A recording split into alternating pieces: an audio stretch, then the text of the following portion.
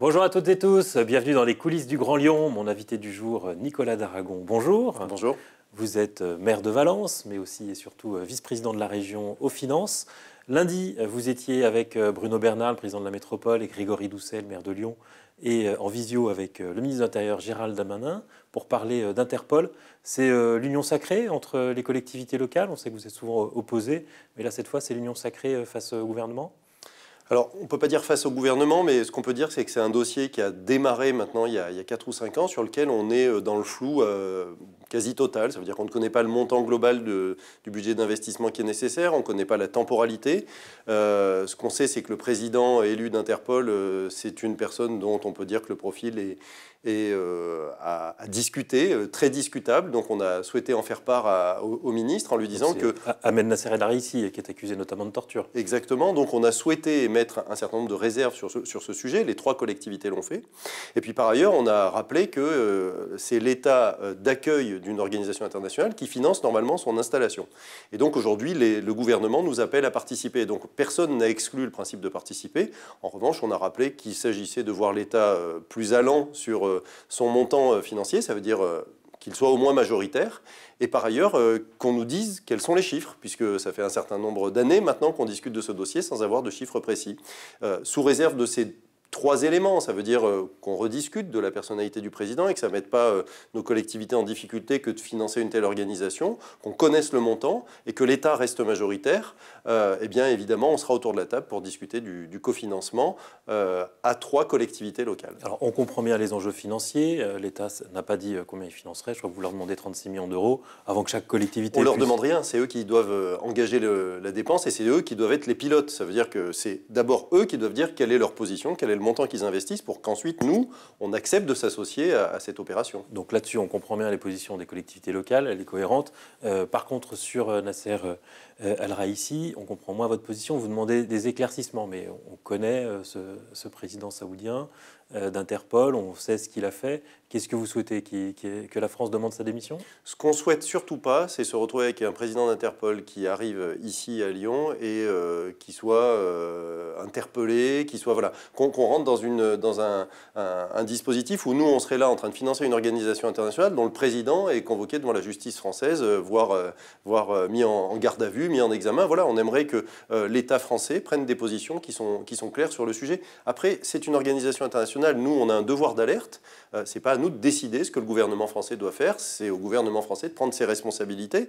Et c'est dans ce sens qu'on interpelle euh, évidemment le, ministre de l'Intérieur en lui disant euh, prenez vos responsabilités à la fois sur la personnalité du président, on attend des déclarations claires, prenez vos responsabilités sur le montant de l'investissement et prenez vos responsabilités sur la participation exacte de l'État sur cet investissement rendu nécessaire par euh, l'agrandissement d'Interpol. clairement, ce que vous souhaitez, c'est que l'État dise s'il va, va poursuivre ce président ou s'il va le laisser euh, tranquillement gérer Interpol, et dans ce cas, vous pourrez financer La séparation des pouvoirs fait que le ministre de l'Intérieur ne va pas pouvoir nous dire ça. En revanche, euh, il y a un certain nombre de préventions que le gouvernement pourrait émettre avant de s'engager dans un investissement d'une telle ampleur. Il faut préserver évidemment cette organisation internationale qui est sur notre territoire, régionale particulièrement, dans la métropole, à Lyon. Il faut faire tout ce qu'il faut pour que cette organisation internationale reste ici, mais il faut aussi que le gouvernement assume ses positions. Qu'est-ce qu'il vous a répondu? Euh, que il n'avait pas la compétence pour intervenir sur une organisation internationale, c'est ce que nous a dit euh, Gérald Darmanin, qu'il n'avait pas non plus la compétence, on le comprend bien, il est dans l'exécutif et, ce n'est pas l'exécutif qui a le pouvoir de mettre en examen ou de faire des poursuites euh, judiciaires. Nous, on lui a demandé un certain nombre de précautions et de préventions sur le sujet qui lui appartient de mettre en œuvre. C'est euh, son rôle, ça n'est pas le nôtre. Alors un sujet sur lequel, habituellement, vous êtes moins, en phase avec les écologistes. Vous venez de la région de voter votre budget. Euh, vous vous attachez beaucoup à, une bonne gestion de la région, à réduire les dépenses, monter l'investissement. Par contre, euh, vous réduisez l'endettement. Est-ce qu'à une période où, l'argent est aussi peu cher, est-ce que ce n'est pas dommage de ne pas en profiter pour investir euh, dans l'avenir de la collectivité? Alors, il faut qu'on regarde les chiffres de près comment on fait pour investir plus euh, Il y a deux solutions. Soit on s'endette, soit on fait des économies sur le fonctionnement. Nous avons choisi la deuxième option. Euh, tout simplement parce que s'endetter plus, c'est rendre moins crédible notre collectivité locale lorsqu'on va emprunter. Ça veut dire que les banques vont nous prêter plus cher, donc on aura des frais financiers plus importants. S'endetter, c'est aussi prendre le risque de devoir augmenter la fiscalité, ce que nous n'avons jamais fait. Nous avons même baissé les deux taxes que nous appliquons sur le carburant et sur les cartes grises. Donc euh, notre, notre idée à nous, c'est faire des, économies de fonctionnement, ce que nous avons avons fait depuis le début du mandat précédent, 300 millions d'euros qui ont été économisés et qui nous permettent d'avoir un autofinancement, c'est-à-dire l'argent dont on dispose pour investir, qui est beaucoup plus important. Ce qui veut dire que euh, quand euh, les écologistes, par exemple, nous incitent à augmenter la fiscalité ou nous disent vous devriez vous endetter plus pour investir, on leur répond mais euh, en 2015, la région tout entière, hein, Auvergne-Rhône-Alpes, investissait 716 millions d'euros. Le budget prévisionnel 2022, c'est 1 milliard 450 millions d'euros. Et le budget réalisé 2021, c'est quasiment établi, ce sera plus d'un milliard 4. Donc nous avons littéralement euh, euh, doublé le budget d'investissement de la région. Nous investissons beaucoup plus pour l'ensemble de nos territoires. Nous avons baissé les taxes qui sont à notre disposition, carte grise, euh, carburant. Nous avons rendu encore plus fiable l'endettement de la région. Ça veut dire qu'on emprunte peu cher. Nous avons eu, par exemple, un emprunt à taux négatif. Ça nous est arrivé d'emprunter 100 millions et de devoir en rembourser 97. Là, on vient d'émettre des green bonds, des emprunts euh, qui sont destinés à investir euh, dans euh, des, dans des bâtiments, par exemple, écologiquement vertueux. Eh bien, nous avions appelé 100 millions d'euros sur le marché. Nous avons eu 220 millions d'euros de propositions des banques et des, et des acteurs financiers pour un taux inférieur à 0,9%. Donc, s'endetter, ça n'est pas une bonne stratégie parce que finalement, ça décrédibilise la collectivité devant les marchés financiers et donc ça ne nous permet pas d'emprunter aussi bien, ça fait des frais financiers supérieurs et ça implique parfois une augmentation de fiscalité, c'est-à-dire tout le contraire de ce que nous souhaitons faire. Un sujet sur lequel des investissements euh, pourraient s'avérer nécessaires et qui est vraiment de la compétence de la région, ce sont euh, les TER. Tout le monde voit qu'il y a une réduction euh, du réseau, une suppression de petites gares. Est-ce que ça, ce n'est pas un sujet, avec la problématique du réchauffement climatique, sur lequel la région devrait investir massivement? D'abord, c'est euh, le premier budget régional, euh, les transports. Hein. Ça veut dire qu'en en, fonctionnement, nous dépensons 1 euh, milliard 250 millions d'euros. ça veut dire le premier budget de dépenses de, la région. C'est donc un budget qui a aussi fortement progressé. C'est aussi un budget, là, le fonctionnement, c'est 1 milliard 250 millions d'euros. ça veut dire ce qu'on donne, par exemple, à la SNCF pour assurer les TER. Et puis en investissement, c'est 270 millions d'euros. ça veut dire plus du double de ce qui était dépensé dans les précédentes mandatures. Donc ça veut dire que là aussi, nous avons actionné fortement les leviers et d'investissement et de fonctionnement, et nous sommes en négociation avec la SNCF. Nous ne laissons rien passer pour que les contrats que nous avons avec eux soient encore plus efficaces, que les dessertes soient plus nombreuses, que le cadencement soit meilleur. Et dans cette négociation, vous savez qu'il y a l'ouverture à la concurrence. Euh, vous avez observé qu'en région sud, il y a euh, cette ouverture à la concurrence qui a été accordée euh, à, à Transdev, qui fait un cadencement double sur une ligne qui était effective précédemment, à un prix équivalent de ce que facturait la SNCF. Donc aujourd'hui, on est en négociation avec la SNCF pour que ces contrats soient meilleurs. On n'exclut pas l'ouverture à la concurrence si un jour c'est nécessaire. Ça n'est pas une priorité, euh, que les choses soient claires, mais on ne l'exclut pas, ce qui nous permettrait d'être encore plus efficace. On a augmenté le budget d'investissement, on a augmenté le budget de fonctionnement. Donc nous sommes extrêmement présents sur ce sujet. Et Laurent Wauquiez a déjà sauvé un certain nombre de petites lignes par le passé. Nous n'excluons pas de le faire. Euh, ce qu'il nous faut, c'est un vrai partenariat, à la fois avec les territoires. Les départements euh, sont de bons partenaires, mais aussi avec la SNCF. On a vraiment besoin de réévaluer notre partenariat avec la SNCF et c'est en cours. Ce que les usagers ne voient pas, c'est l'amélioration euh, du service. On leur parle beaucoup dans l'agglomération d'un futur RER e à la lyonnaise qui permettrait euh, une desserte améliorée de toutes les villes euh, dans la région, mais c'est aussi les grandes lignes entre Lyon et Saint-Étienne ou Lyon et Grenoble simplement qui, dont la desserte n'est pas améliorée. Quand est-ce que ces, bonnes paroles sur, sur l'investissement et la gestion se traduiront par une amélioration du service? Alors d'abord, un, les grandes lignes, c'est la SNCF. Donc moi, je suis d'accord de, de, répondre et de, et de contribuer à ce débat pour dire que, en effet, le, le, mode de fonctionnement n'est pas complètement satisfaisant. Euh, deux, sur ce qui est des TER, on est en pleine négociation de cette convention. C'est Frédéric Aguilera, mon collègue vice-président au transport, qui est en train de, vérifier que euh, eh bien, les engagements pris par la SNCF sont tenus sur le sur les horaires. Euh, on est dans une période particulière qui fait que parfois la SNCF s'est retirée d'un certain nombre de dessertes parce que période de pandémie, télétravail, donc il y a des accords à trouver avec, euh, avec la SNCF. On est aussi dans une période où la gare euh, Pardieu pose de vraies difficultés parce qu'elle est en train d'être restructurée complètement. Moi, je suis sur un territoire où on a perdu des grandes lignes temporairement qui vont, qui vont revenir. Donc ça veut dire que c'est un dossier qui s'analyse au quotidien par Frédéric Aguilera, le vice-président au transport, et sur lequel, évidemment, on souhaite être les plus proactifs auprès de la SNCF pour qu'elle remplisse ses missions. Un mot sur les économies. On sait que vous avez beaucoup euh, fait d'économies euh, sur la formation professionnelle.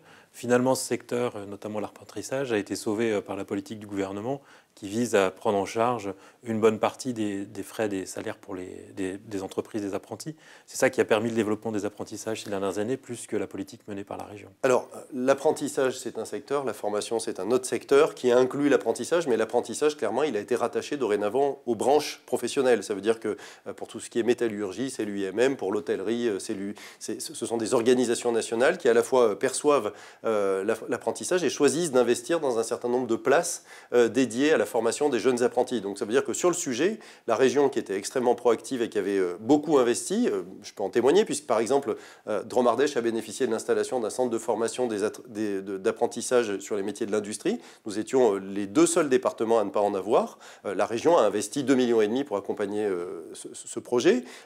Le, le, gouvernement nous a déchargé de cette responsabilité. Ça veut dire que ça n'est plus la région qui investit sur l'apprentissage. En revanche, sur la formation, on a annoncé la couleur dès le début du mandat précédent. Le président Vauquier l'a dit à plusieurs reprises, nous, ce qu'on vise, c'est euh, l'insertion professionnelle. Donc, euh, effectivement, il y a un certain nombre de formations sur lesquelles on s'est retiré. Effectivement, il y a un certain nombre de formations qui sont euh, moins financées. en revanche, il y a eu plus d'entrées en formation depuis 2015 que ce qu'il y en avait eu précédemment. D'abord parce qu'il y a des formations plus attractives qui ont été mises en œuvre, et elles sont plus attractives notamment parce qu'elles conduisent plus souvent vers un emploi. Donc, notre objectif à nous, ça n'est pas de dépenser le plus d'argent possible. Notre objectif, c'est de dépenser le mieux possible pour que les personnes qui bénéficient de ces formations s'insèrent professionnellement. Donc, euh, oui, sur le fonctionnement, il y a eu un retrait. Euh, sur l'investissement, en revanche, il n'y a pas eu de retrait. Ça veut dire qu'on a continué à accompagner un certain nombre de formations. Je pense notamment aux formations sanitaires et sociales, où on a mis un vrai coup de boost sur le, sur le financement. Euh, donc, si on globalise le budget fonctionnement et investissement, on a eu plutôt tendance à progresser sur ce financement. Et un mot sur la, campagne présidentielle. Vous êtes orateur de Valérie Pécresse dans cette campagne. Est-ce que vous allez lui apporter des idées? On pense par exemple à la suppression euh, des aides euh, pour, euh, pour les familles, dans, les familles qui contiennent un, délinquant, que ce soit un frère, une sœur, un enfant.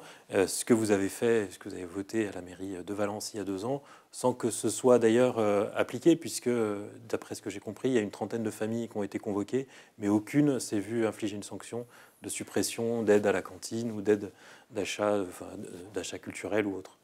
On avait deux dispositifs dans la délibération de, décembre 2020. Euh, évidemment, c'est un dispositif qui a intéressé d'abord euh, la région, puisque c'était notre sujet essentiel, et Laurent Wauquiez l'a retranscrit euh, dans, les règlements régionaux, où on pourra intervenir quand il y a des personnes qui ne respectent pas les règles pour leur faire moins bénéficier des aides régionales. Évidemment que Valérie Pécresse a bien ça en tête. Il y a un certain nombre de suspensions d'aides qui sont programmées, c'est dans son projet sécurité. quand nous avons voté cette délibération en décembre 2020, en effet, elle a été très décriée. Elle avait valeur pédagogique. Et valeur pédagogique, ça veut dire que euh, quand on reçoit les familles de mineurs délinquants, il y a plusieurs attitudes, trois attitudes en général. Il y a les familles qui reconnaissent les difficultés qu'elles connaissent avec leurs enfants et qui acceptent les mesures éducatives qu'on leur propose. Il y a les familles qui sont totalement démunies, ça veut dire dont les parents ne comprennent même pas de quoi on parle. Ça arrive. Elles sont complètement déconnectées du sujet, elles ne comprennent pas, elles ont des difficultés d'appréhension et d'éducation avec leurs enfants. Et puis il y a euh, troisième type de famille, celles qui sont dans la défiance. C'est celles-là qu'on vise. C'est celles qui sont dans la défiance parce que ceux qui acceptent d'être accompagnés, on va être à leur côté sur les mesures éducatives. Celles qui ne comprennent pas, on va être à leur côté sur des mesures éducatives qu'elles accepteront. Celles qui sont dans la défiance et qui nous expliquent que leurs enfants sont les meilleurs du monde et les plus gentils. Jusqu'à présent, on en avait à peu près 15-20% des familles convoquées. On ne les a plus tout simplement parce que euh, lorsqu'on les reçoit, on leur explique les aides dont elles ont bénéficié dans lesquels on inclut aussi le logement social. C'est une contribution de la collectivité locale à la vie, euh, euh, à la bonne vie d'une famille. Eh bien, euh, lorsqu'on explique à ces familles-là que si elles ne respectent pas les mesures éducatives qu'on leur propose, on suspendra les aides et on remettra parfois en cause le bail d'occupation du logement social dont elles bénéficient, en général, elles rentrent dans le cadre. Et, quel type de mesures éducatives vous leur proposez? Ah ben, on a des éducateurs de prévention, on les intègre dans les dispositifs d'accompagnement à, la scolarité, euh, dans, tous les dispositifs sociaux qui entourent la vie d'un enfant, dans les maisons de quartier. Euh, ce sont des enfants qui ont besoin d'un accompagnement pour revenir dans le cadre. Je rappelle que les gens qui sont convoqués devant le Conseil des droits et des devoirs des familles, ce ne sont pas des gens qui sont convoqués devant la justice. Ceux-là, on ne peut plus agir, nous, pour eux. En revanche, ceux qui sont convoqués devant le Conseil des, droits et des devoirs des familles sont des, jeunes qu'on peut récupérer. Et l'objectif pour nous, c'est bien, bien ça, c'est bien de les récupérer. Pas de les sanctionner, c'était de les récupérer. Et ça a fonctionné. Chaque fois qu'on a émis l'hypothèse d'une suspension d'aide ou euh, d'une dénonciation d'un bail, dont je rappelle qu'on en a dénoncé 130, entre 130 et 140 depuis 2014, eh bien, les familles comprennent assez vite que la défiance, ça ne fonctionne pas et qu'il faut que leurs mineurs de 10 ans ne soient pas dans la rue à minuit en train de jeter euh, des pierres sur la police, les pompiers ou les personnes qui portent secours. Ça fonctionne. Un dernier mot sur la campagne. Est-ce que vous dites euh, merci à Éric Zemmour d'avoir euh, scindé le Front National en deux? C'est ce qui vous donne aujourd'hui une chance d'être présent au deuxième tour. Et est-ce que, question plus pratique, vous pourriez l'aider à avoir ces 500 parrainages, puisqu'on a compris qu'il aurait peut-être du mal à les obtenir? Les choses sont très claires. Moi, je suis très heureux qu'on ait Valérie Pécresse comme candidate. C'est la candidate unique de la droite rassemblée et du centre. C'est la première fois euh, que ça arrive depuis fort longtemps, qu'on n'a pas de dissension dans, notre famille politique. Elle est euh, le fruit d'une primaire. C'est la première fois qu'elle est aussi basse aussi, euh, votre famille politique, dans les sondages. Oui, mais enfin, les sondages, on, sait ce qu'ils valent. Et puis, quand Valérie Pécresse se situe à 16 ou 17, je rappelle qu'on a eu un président de la République, Jacques Chirac, qui était autour de 19 avant d'aller au deuxième tour et de, remporter l'élection. Donc, le sujet aujourd'hui, c'est nous avons une bonne candidate, on a une famille réunie, on a un bon programme, on va le défendre de toutes nos forces. Ce qui se passe sur les extrêmes, j'allais dire, c'est leur affaire. Et évidemment que la famille euh, des, républicains, des centristes, ne va pas signer pour Éric Zemmour. Donc, euh, enfin, moi, j'ai pas de difficulté à assumer euh, très fortement mon ancrage de gaulliste social. Je suis très content que ce soit Valérie Pécresse qui soit la candidate et de la soutenir. Nicolas Daragon, je vous remercie. Merci et puis moi, je vous dis à demain pour une nouvelle émission des coulisses du Grand Lyon.